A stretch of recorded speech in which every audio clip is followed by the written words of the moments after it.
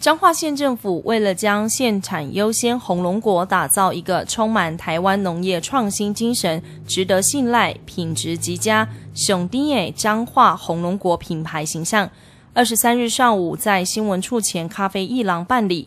彰化县红龙果品牌行销设计大赛宣传记者会。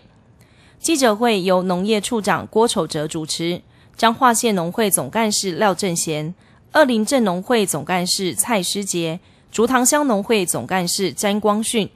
普盐乡农会总干事施明华、新闻处副处长吴真祥等贵宾与会。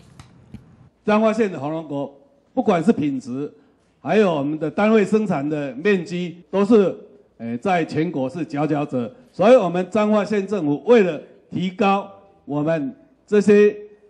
高经济的产值，我想这个红龙果这个外销日本的市场是非常。深受肯定，所以我们也希望说，将我们的这么好的红龙果啊，能加以包装、加以设计，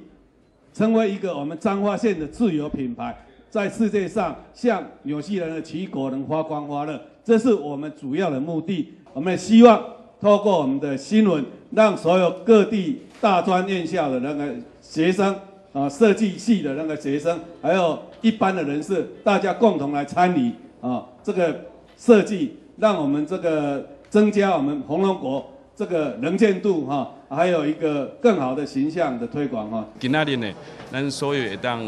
来知影，就是讲咱今仔为着要把这个品牌做一个确定确认哈，所以来办理这个品牌设计大赛。啊，当然这个除了讲哈。就由咱青少年朋友或者讲设计的一寡规划的一个大师哈，大师级的这些人来参与我们产业以外呢，我们最重要的也希望能够把火龙果也借由这样的一个品牌的确认，能够走出去，然后把跟国际所谓的国际接轨，也让个国家扩大扩大这个产业面哈。所以呢，火龙果确实是。藤架上的红宝石，我们希望大家能够一起来把它擦亮。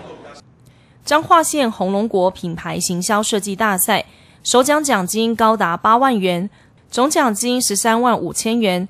活动报名时间为即日起至五月十七日止，希望全台大专院校相关设计系所的学生、社会人士踊跃报名参加，展现创意。